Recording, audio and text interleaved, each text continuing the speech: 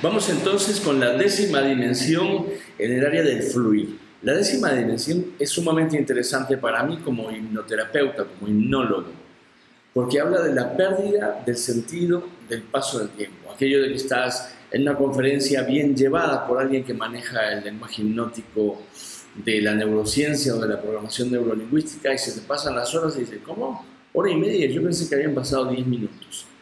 Esa sensación quiere decir que el cerebro está colocado en un modo de funcionamiento que es o en alfa o en tita. Esto quiere decir entre 4 y 13 MHz por segundo, que es la unidad de medida electromagnética de funcionamiento del cerebro, si lo midiéramos con un electroencefalograma.